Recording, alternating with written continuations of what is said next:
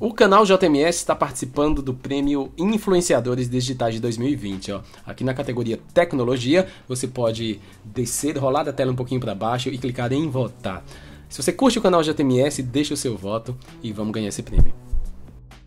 Olha, nos últimos meses, por causa do cenário internacional, tenho visto muitos amigos serem vítimas de cybercriminosos. E se nós voltarmos um pouquinho no tempo, meses, ou melhor, alguns anos, você vai ver que sempre tentam censurar a internet, que é o único espaço ao qual nós conseguimos expressar com certo grau de liberdade nossas ideias, convicções, valores ou crenças. Daí a importância de se usar uma VPN, tanto para proteger os seus dados quanto para permitir que você acesse conteúdos sem censura.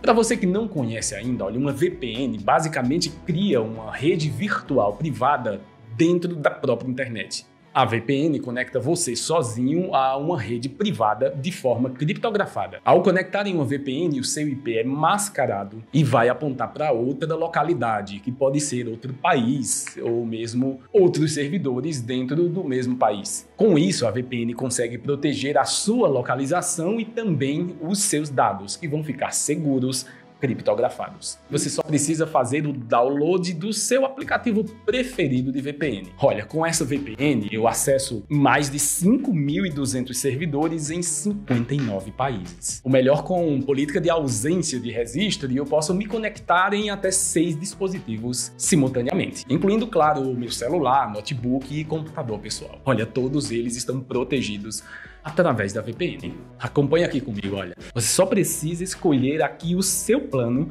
e você também escolhe, né? Se quer testar por um mês ou economizar no plano anual. São dois anos e um mês por 89 dólares. Olha, não é um mês, tá? São dois anos e um mês. Em seguida, você seleciona o método de pagamento, que aliás são muitos, e aplica o cupom de desconto Jefferson Menezes. Olha, usando esse cupom é importante para você garantir os dois anos e um mês por 89 dólares. Não se preocupa que automaticamente esse valor vai ser convertido quando você selecionar o método de pagamento aqui no Brasil.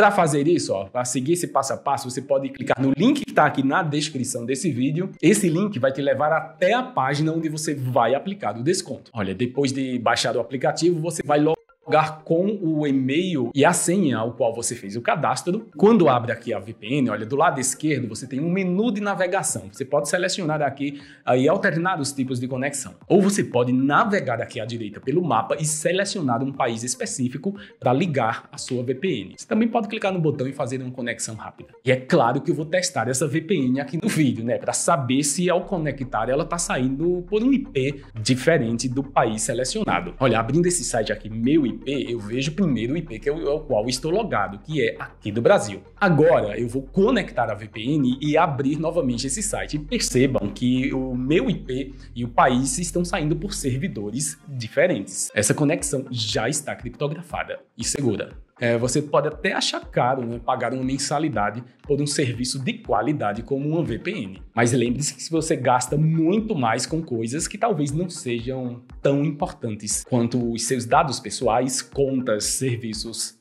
e informações que você acessa. Olha, uma boa VPN é um serviço pago, mas não é caro.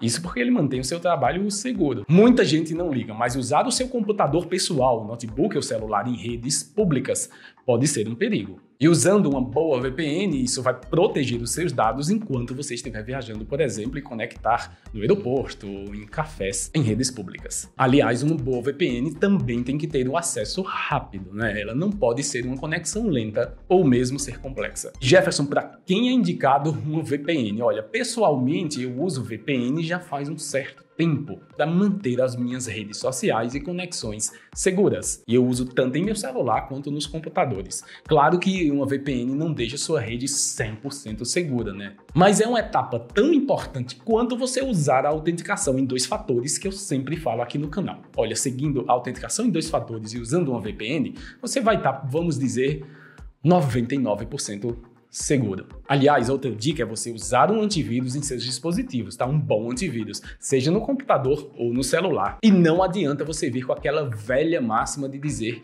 que celular não pega vírus. Ó, olha, eu não estou falando de vírus, eu estou falando de phishing e de malwares. Isso sim, você pode ser vítima tanto de tentativa de roubo, do seu WhatsApp, de redes sociais, de clonagem e tudo mais. Um bom antivírus Uma VPN e conexão e autenticação de dois fatores vão te proteger dos cybercriminosos. Claro, as melhores VPNs sempre têm um bom equilíbrio de recursos, uma boa localização de servidores, protocolos de segurança, além de, claro, o preço, né, que também tem que ser atraente. É importante usar uma VPN, seja para um uso ocasional, algumas pessoas usam para burlar restrições é, de acesso a sites em outros países, para fazer downloads ou mesmo querem privacidade enquanto navegam na internet. Usar uma VPN significa usar uma rede virtual privada. É a mesma coisa que usar um túnel onde só você passa. Um túnel com segurança particular. As VPNs são usadas para proteger o tráfego privado na internet contra espionagem, interferências, e censura. E vale lembrar que a VPN que eu uso é compatível com a maioria dos sistemas operacionais, seja Windows, Linux,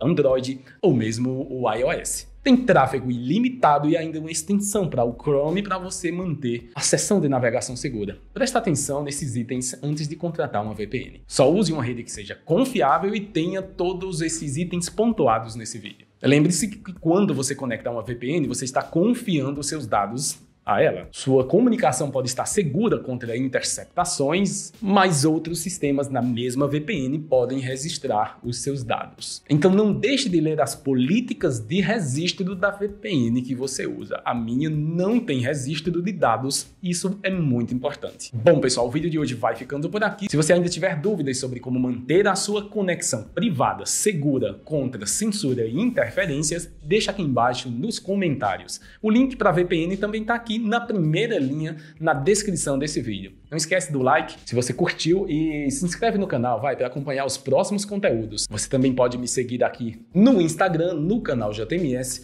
e a gente se vê como sempre no próximo vídeo. Até logo então, um grande abraço. Tchau, tchau.